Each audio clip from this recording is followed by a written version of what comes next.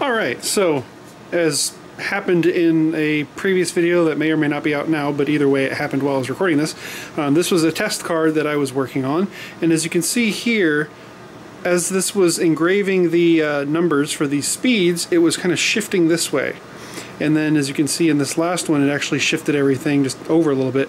But then all these squares, which were a separate uh, you know, layer basically, all were decently lined up at least until you got to this one. So this was all, all the numbers and all the auxiliary information was all a separate layer that it engraved first, and it just kind of lost steps this way, but then it immediately goes to these and it's all spot on. And the cut that goes at the very end was all spot on. So it, it never lost steps. It just wasn't, it lost steps within one layer, which was kind of weird. So I got a solution to this. And this is what came out of that. Don't mind me. it didn't it didn't go all the way through, so I just kind of ripped it out. But um, this is, now I changed the setting and you can see everything is all perfect. This was the exact same file, actually I cut out a couple of these, but same file otherwise, with the exception of one change that I'm going to show you now.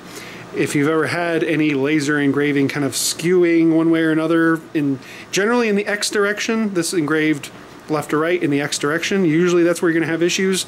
I don't usually see issues with the um, Y direction which is why I engrave up and down for my big pictures that take like an hour and a half. I really don't want to have issues with those, so I do it that way.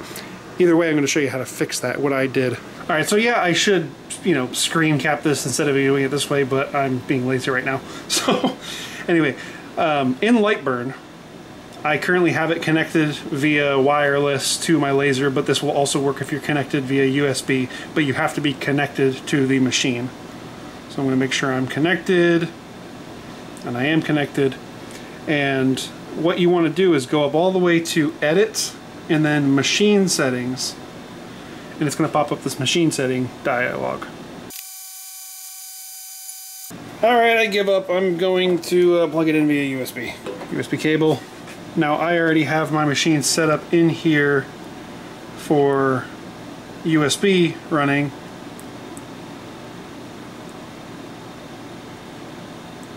Alright, so now I have it connected via USB. Over here I had to select the device, which I have it set a USB version. It's on COM3. It's connected down here. And now if I go to edit and then go to machine settings, it pulls up the controller settings. And now you have all the parameters for the machine. So if you wanted to change acceleration and a bunch of stuff like that, it's actually within these menus. But for the most part, um, within here, there's a lot of stuff in here you can play with. Um, be careful because you can break things. But the thing that I'm looking for that's most important, you scroll all the way down and you see vendor settings, and you click to open it up and it'll say, do you wish to continue? Editing this stuff is really bad, blah, blah, blah. If you scroll down here, you'll see x-axis settings. There's also a Y and a Z and a U setting. But this right here, PWM Rising Edge Valid, that setting right there is basically what's going to help you fix or not fix the skewing issue that you're that I was having that I was experiencing and you might be anyway. Basically whatever setting that's on right now just toggle it on or off to fix to change it. So mine was set to true and I turned it off went to false and you know now it's not not skewing which is great. Um, What's interesting is that I had this issue, you know, many like years ago when I first got this machine, and it was set to false, and I changed it to true, and then the skewing didn't happen. And only recently has the skewing started happening, and now changing it back doesn't give me the issue. I don't really know why. It doesn't matter. All I know is that hitting that and changing whatever setting that PWM Rising Edge valid, change that to whatever the opposite setting is. Um, specifically on the X setting. You can leave the Y unless you're having Y axis shifting as well.